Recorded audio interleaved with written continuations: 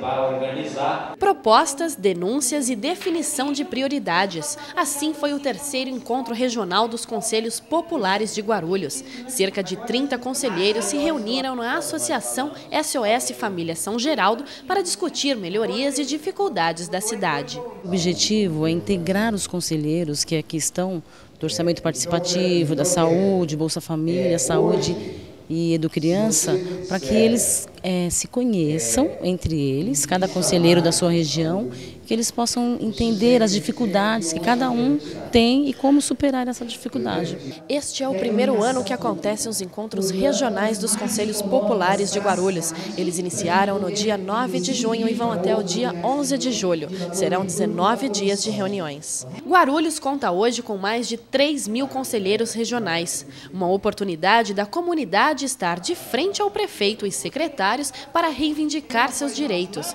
A iniciativa foi aprovada e promete melhorar cada vez mais a cidade. Aqui é ótimo da gente conhecer ele, poder falar o que nós estamos sentindo, que nós somos umas pessoas simples, não sabem nem falar direito, mas sabe escutar. E eu estou achando maravilhoso esse serviço dele.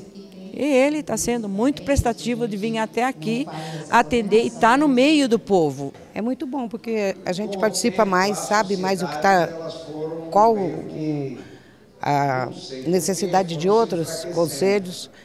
E eu acho que ajuda muito a comunidade. A gente poder reivindicar o que a gente quer, o que a gente precisa, né? É interessante que se reúnam os conselhos para tirar da reunião é, a prioridade, os objetivos comuns. Quer saber mais sobre Guarulhos? Acesse o site www.guarulhos.sp.gov.br.